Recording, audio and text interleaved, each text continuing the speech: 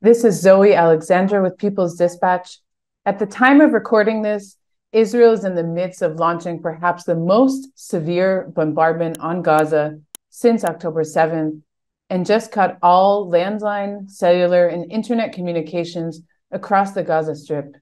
International aid organizations and media outlets have reported that they have completely lost contact with colleagues on the ground, with only satellite communications functioning at the moment. Many are warning that this could be the most serious and deadly attack on Palestinians in recent history. These actions have been met with sharp condemnation from people across the world, with almost daily protests and mobilizations occurring in towns and cities across the world over the last several weeks. Despite this global outcry, political leaders from North America and the EU have stood firm in expressing full support to Israel and thwarting genuine attempts at stopping the violence and calling for a ceasefire. However, this is not without exception. The progressive Irish party Sinn Féin and its members and leaders have stood out from other parties and politicians in the European Union in their support of the Palestinian struggle, their strong condemnation of Israel's attacks on Palestine, and the participation of even leaders from the party in street actions in solidarity with Palestine. And for this discussion, uh, we're very lucky to be joined by uh, Chris Hazzard, who's an MP for South Down and a member of the Sinn Féin party. Chris, thank you so much for joining us. Thank you, Zoe. Great to be here. Great. So let's get right into it. Um, as we're speaking, we know that developments are happening on the ground in Gaza. Um, the biggest of them being the fact that communications were just cut, and a it is rumored and it is being confirmed as, again as we're recording that a land invasion uh, is in the process of taking place. Um, what are your thoughts on this escalation and how did we get here? Um, well, I think we've all been fearing this moment over the last couple of weeks um, that the bombardment was only the beginning of this wretched chapter uh, in the collapse and you know moral attitudes to all of this. You know, you see in recent days and weeks, Israel has targeted the basic civilian infrastructure of Gaza, the hospitals, the schools, the mosques, the churches, the food and supply lines. Now, this evening, they've cut and targeted the communication systems, a complete blackout, and then commenced what has been described as the most intense bombardment yet. I've seen some local observers have described it as a belt of fire has enveloped uh, the Gaza Strip. I also seen that um, Israeli officials were talking again up warnings about the Al Shifa hospital.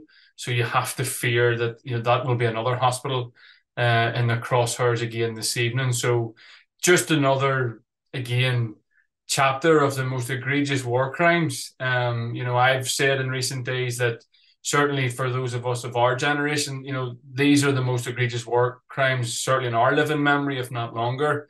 We're witnessing ethnic cleansing and genocide every day on our TV screens. And I think I think there's a growing anger with the complicity and the collusion of the Western powers in all of this, and that Gaza's been left to its own devices to face what is, you know, ultimately human and environmental annihilation.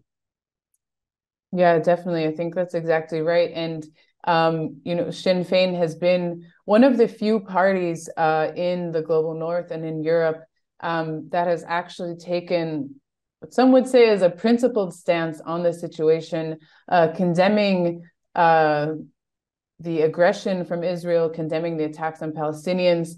Um, what has been the response from other uh, EU countries, some other EU parties on the position of Sinn Féin? Um, what is, as they say, the political cost of standing with Palestine? And why, in the midst of all this, do you think the EU has has really locked down on its stance uh, in supporting Israel and condemning uh, everything uh, that Palestinians have done in this past couple of weeks. Well, you're right, and we, we led the, the calls in the Irish Parliament, the Dáil, um, for a ceasefire. The Dáil was one of the first parliaments in the world actually to unanimously call for a ceasefire. That's the Irish Parliament in, in Dublin. Um, there's no real surprise in this actually. In 2021, the Dáil was also the first um, parliament. Ireland became the first EU state to unanimously condemn Israel's de facto annexation of Palestinian land. So there is unanimous agreement right across the political spectrum in Ireland that there must be a ceasefire, that Israel must be held to account, and that the Western powers have to intervene um, to ensure that that ceasefire happens.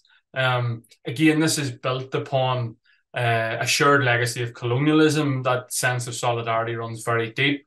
And it means the wider Irish population, the Irish nation, and our diaspora understands that the route to peace in Palestine is built on the need for Israel to end the occupation and apartheid that's been imposed on Palestinians. So, in recent weeks, for example, not only has our parliament demanded a ceasefire with one voice, but the Irish Taoiseach, the, the Irish Prime Minister, and the Irish President have both also criticised the EU Commission President, Ursula von der Leyen, making it clear that she does not speak for Ireland. You know, you, you'll remember, your viewers will remember, she was heavily criticised for her stance in visiting Israel at a time when they were committing these war crimes. And our president, Michael D. Higgins, put it very well that she had reduced international law to tatters. So, in response to that, the Irish government have increased humanitarian aid to Palestine. So, we've almost doubled it now 13 million euros on top of the annual 10 million euros that goes to Palestine. So, we've had every town and village has seen street demonstrations, much like we're seeing around uh, the rest of the world people are coming out. Um, and there's been a long standing sense of solidarity, you know, not just in official Ireland and with the political parties, but more more generally, you know, we have significant, you know, organized solidarity organizations such as the Irish Palestine Solidarity Campaign that for many years has been to the fore in organising support and fundraising events for Palestine. We also have Irish human rights organisations based in Palestine and as I say, much of that goes back to a long standing shared experience of colonialism. But in a more recent context, you know, from the 1960s, there was a very strong anti colonial solidarity between Ireland, South Africa, and Palestine. Um, you know, the Irish Parliament was one of the first parliaments in the world again to recognise the PLO um, as the legitimate voice of the Palestinians. So, uh, certainly for ourselves as a political party, not just because we are the the main vehicle for Irish reunification coming out of an anti-colonial struggle, but our friends and neighbours and brothers and sisters outside of our own party and across the wider um, Irish society are very, very proud to stand with Palestine and are actually proud of our political leaders for this these last few weeks standing up with the one voice to demand a ceasefire and to demand peace for Palestine. Yeah, and I think the the Irish people are joined by millions across the globe who have been on the streets um, with these demands, uh, calling for an end to the violence against the Palestinian people. Um, for you, you've been active in the Palestinian Solidarity Movement, the International Solidarity Movement for a while. Um, what do you see is different about this moment? Would you say there's an increase in support? Um, what does it say to you? Are you hopeful about this moment?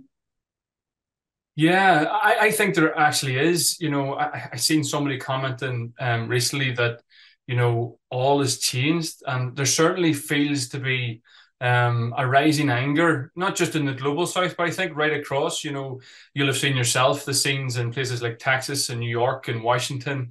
Um, there's a real sense of anger, and I think much of that comes from an anger with political leaders who are complicit in all of this refusing to stand up for peace and to call for a ceasefire. You know, when people see the barbaric scenes coming from Gaza, they, they rightfully are angered and, and they want political leaders to stand up for peace.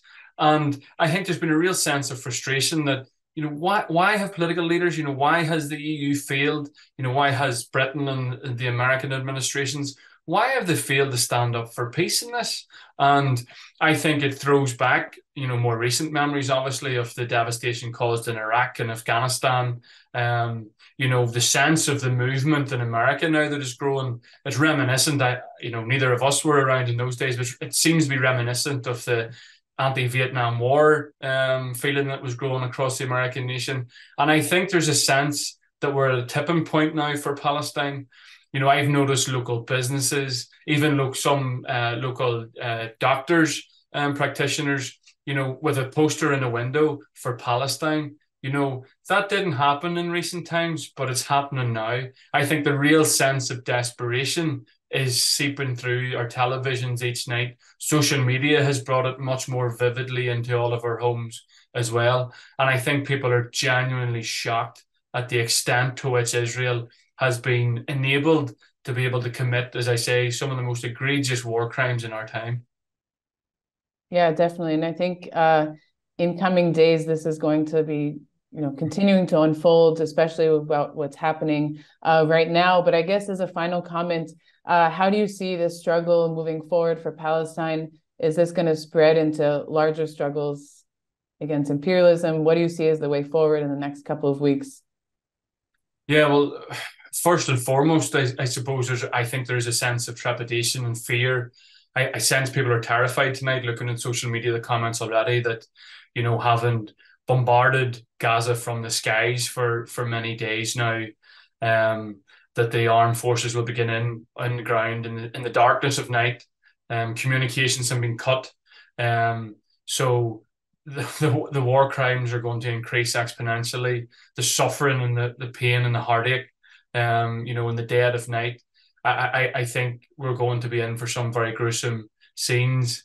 Uh, it's not also going to be straightforward, I don't think, for the Israeli forces. I think they're going to be um, dragged down now into the mire uh, in Gaza. God only knows where we go for this. I, I think we have to hope um, that the Western political establishments waken um, to the crimes being committed and understand to put pressure on Israel now to cease. Um, because any any notion that Israel is somehow defending itself, you know, has been completely um, eviscerated by their actions in recent days. I have no doubt that will be tenfold whenever we seen when we finally see the scenes from Gaza over the next few days. So we have to hope for negotiated peace out of all of this. But the big fear, of course, is that they've went far too far. Um, that the region itself is now going to be enveloped uh, in a conflict. You know, you see the um, the warships beginning to move into the Eastern Mediterranean. Um, and, and and that's the big fear in all of this that this spills over not just to Lebanon and Syria, but then the other regional powers become involved in all of this, and you know where that ends up then um, is horrifying to even think about. Definitely, I think we're definitely in in trying times that are very uh, difficult to predict, difficult to say what will follow. Um, but I thank you so much for your time, and we'll be continuing to follow the developments, especially. Uh, how the EU powers will respond, how officials in the US are going to respond to this, and how the people on the streets who have been standing with uh, with Palestine for these weeks, um, how that's going to continue to develop. Absolutely, and I think there's a, there is now a new generation that's willing to stand up for Palestine, and you know, no doubt that's going to be vitally important in the time ahead.